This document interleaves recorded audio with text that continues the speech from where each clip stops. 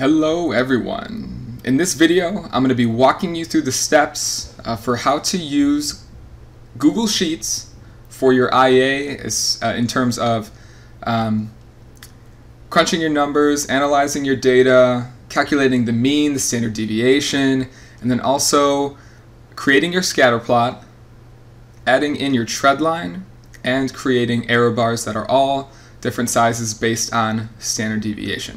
So stick with me. This video is going to be, um, it's unscripted, it's going to be unedited. So just follow along and hopefully we can get through this. So I'm going to first assume that you have uh, your Google Sheets document already set up like this, which means that you have already um, identified a range for your independent variable, your dependent variable, and you have done five trials of each one, and then you have actually calculated uh, and, and collected all of your data. Okay, so the first thing that we're, do, we're going to do is we're going to average out um, the numbers that we have for each trial of the range of our independent variable. So with this sample experiment here, uh, I've done uh, reaction time as I that is measured as my dependent variable versus sound frequency uh, that I have in hertz up at the top. So I first want to calculate the average of my five trials of my frequency of 100 hertz. So in order to do that, and I'm going to just do it uh, on the Google Sheet and so I don't have to actually calculate it by hand so we can just use the commands and the equations built into the system so it's uh, pretty easy. So I'm going to hit the equal sign and I'm going to I'm going to start typing in average so I'm just going to put AV and then I have a couple options that pop up. So I just want to go to uh, the second option here, the average, just the normal average. I'm going to click on that and it's going to say equals average. It's going to have an open parenthesis. So in that scenario, I'm going to click and drag over the uh, five points that I want to average. I can close the parenthesis and click enter. And then I have now averaged out uh, all these numbers. Now what I could do is I could keep calculating the average the same way for all four of these, but just to keep it simple and to keep it easy, um, Google Sheets actually has a copy and paste uh, function for formulas, and it's this little blue box on the bottom right. So I'm actually going to click this, and you notice as you hover over it, there's a little plus sign. I'm going to click this box. I'm just going to drag it over to all the other means that I need to calculate, and then I just uh, let go or unclick. And then you'll see that all of my averages are different, and they are all based on uh, the column of numbers that uh, sit above it. Okay, so for calculating standard deviation, we're going to do the same thing equals, and you can start typing in uh, standard, and then if you just click ST, this option should pop up, this first one for standard deviation. I'm going to click on that, and then I have the same thing that pops up in open parenthesis, and I want to calculate the deviation between all five numbers that I had in or for each trial. I'm going to close the parenthesis, I'm going to click enter, and then this is going to calculate my standard deviation for me. Again, I could do it individually, but to save time, I'm going to click this box, I'm going to drag it, and now I have all of my standard deviations, and you need to make sure that all of them are different, assuming that all of the values that you have collected are going to be different. Uh, you should not have the same standard deviation, deviation, you should not have the same mean for um, all of your data, and that just uh, ensures that the click and drag process worked. So now what I want to do is I want to take this information and I want to turn it into a graph. So in order to do that, and I'm going to zoom out so you can see a little bit more of my screen, when I'm graphing, I want to graph my independent variable, which is Hertz, and I want to graph the averages that I calculated, which is really only going to be five points. So uh, I'm just going to label this for you here, so you can do the same if you want to. So I'm going to have my independent variable, IV, and my dependent variable, I'm just going to put capital D, capital V. So my independent variable I said was frequency, and I'm going to measure that in hertz. So I'm just going to put Hz uh, as the unit. And then I was measuring my dependent variable reaction time in seconds.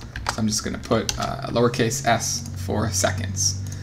Now what I want to do is uh, horizontally in this row, I want to just, after this box, I want to place my five values of my independent variable and the five values for my dependent variable. So within the range of my independent variable, I have 100 hertz was my first one, then 300, then 500, 700, and 900. Now you want to make sure that for all of these, if you copy and paste this, you cannot have any letters within this box. You'll see that if you have any letters, it pushes it over to the left-hand side of the cell, which means it's not really going to treat it as a number. And we don't want that because we're trying to graph. We want this to be an actual value. So all the numbers are pushed to the right, which is perfect. This one, I'm actually going to copy and paste. So I'm going to highlight all five of these numbers and I can hit Control C or I can right click and hit copy. And then right here, either Control, or actually I can't click Control V. I'm going to right click and I'm going to go to Paste Special and I'm to click Paste Values Only, which ensures that I'm not actually taking over uh, this equation that I have calculating this number. I just want to pull the number itself. So now we have everything that we need. You're going to highlight uh, both of these values, which are the units, including all of these numbers. So it should look just like this. And then I'm going to go over to Insert, and then I'm going to click Chart. So this pops up. You have your graph right here. And then there's also this uh, new editor feature that pops up, at least I think it's relatively new, um, in which I can use to manipulate uh, my uh, graph that I have here. So first and foremost, it gives me my data in a bar graph. I do not want a bar graph. Both of my variables are continuous variables, so I really want to use a scatter plot. So to do that, you're going to go to chart type in the uh, editor. You're going to click this drop down arrow, and then you're just going to scroll down a little bit until you see scatter, and it's the first scatter one. It says scatter chart, and you're going to click on scatter chart. And now this gives me exactly what I need, all of my data in a uh, scatter plot. So once I have this, I need two more things. Well, first, obviously, I need to fix um, I need to fix the titles of the x and y axis. I need to fix the title of the entire graph, but I'm not focusing on that in this video. I'm just worried about can you add a trend line and can you add error bars based on standard deviation uh, that are all unique. So to add the trend line, this is where we started. You want to go to your editor and you want to click the tab on the right that says Customize. And then within this drop down arrow, you want to go to Series, click, uh, click on Series, and then you're going to go down to Trend Line and you're going to click this box. So now you can see that a trend line has been added and the other thing that you want to do is you want to add in the uh, correlation coefficient which is an r squared value. And we're going to be talking about what this r squared value actually means later. But for right now let's just keep that clicked. My r squared value for this set of data is 0.92 so the trend line is pretty easy. Now the next part is we have to add the error bars. Now here's the problem, at least that I'm finding with Google Sheets, and I am sure that there's a video out there to do this in an easier way, but I have not found that video, and I'm really not sure how to do this. So the problem with Google Sheets is that if I want to add error bars, I can go to Series, and then there is a button right here for error bars. If I click this button, the problem is it treats all of these points like they're the same. They're, they're within the same series. So it's going to give them all the same error bars. So I can go to like a constant number. I can have that number be um, like 0.05. And then they're all going to go up plus 0.5 and minus, or 0.05. But they're all going to be the same. And that's not what I want because my standard deviation for all of these is different. So, I figured out a way to like maneuver around this. It's definitely not easy, but it'll work. And hopefully if somebody finds an easier way to do this, they can post a video on it. But for right now, this is how I'm going to do it. So follow along with me. First, I'm going to get rid of these error bars that I added. Uh, so now we're like starting from scratch. Okay. In order to set this up, I'm going to just put my graph down here for now. And what I'm going to do, this is my data that I use to, uh, to calculate or to create this graph. So I'm going to highlight the five numbers that I measured with my dependent variable, and I'm going to hit Control C. I'm going to copy them, and then I'm going to actually copy this entire row five times underneath it. One, two, three, four, five. Okay? Now, what did this do? Essentially, what this did was I just layered another five other series of these points in my graph on top of each other. So my graph kind of looks the same, but I have all these other different colored dots here because I just put five copies of these dots on top of each other. So I want to treat all of these as uh, a separate series for an individual dot that I can place an actual error bar in. So this is how we're going to do it. First, we're going to label. So the first series that I added, this new row right here, I'm going to click this cell. I'm just going to put 100 hertz for me to label it so I know what it is. My next one is going to be 300 hertz, and this is just based off my independent variable. 500 hertz, 700 hertz, and 900 hertz. And I'm adding in the actual letters because I don't not want this to be treated as a number. And you'll notice that, well, it just popped up and it labeled all these points. Okay, and that's exactly what you want. Now what I'm going to do is I'm going to match these up to the value that I want to have like copied over it, and I'm going to delete all the other ones that I don't want. So this is 100 hertz, so I only want to keep the value right here for 100 hertz. So I'm going to go ahead and delete every other value in this row. Then I'm going to do the same thing for the next one, for 300 hertz. I only want to keep the number that is uh, in line with 300, so I'm going to delete all of the other ones. For 500, I'm going to keep it underneath. I'm going to delete everything that isn't 500. Then I'm going to do the same thing for 700, and then the same thing for 900. So now it should kind of look like um, like a line with a, a negative slope kind of going down. And then you'll notice if you look back at your graph, all these dots are now different colors.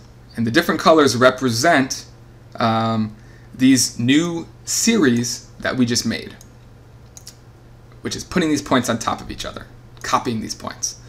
So now we're going to add our error bars to these points. Okay, so now we're going to go back to our original data. I'm going to start with 100 hertz. This standard deviation is the error bar that I want to add. So I'm going to hit Control C to copy it. Then I'm going to go back to my graph. I'm going to double click on my graph. It's going to open up this editor. And I'm going to go to Customize. I'm going to go to Series. And then now it gives me this option to apply to all series. And that's what I do not want to do. So instead, I have my deviation for 100 hertz. So I'm going to click that. I'm going to click this drop down arrow. I'm going to click on the label I made for uh, 100 hertz, which is just this red point. It's going to treat it as an individual point. I'm going to click error bars. And you'll see that it pops up. Now I don't want a percent, so I'm going to change this percent to constant, and then I'm going to get rid of this 10 value that's uh, a placeholder, and I'm going to copy and paste my deviation. So now this gives me the deviation that I had for my data at 100 hertz. Now I'm just going to continue to do the same thing for two for 300 hertz. I'm going to copy my deviation I'm going to double click on my graph. I'm going to go to series. I'm going to go to 300 hertz. I'm going to click error bars. I'm going to switch it to a constant. And I'm going to change that value to my deviation. And then now I have my error bars. And the key thing here is that the, your error bars are different sizes. That's exactly what we want because we had different standard deviation for the different uh, ranges of your independent variable. So let's go ahead. I'm going to do these ones pretty fast. If you uh, need to rewatch, you can rewind.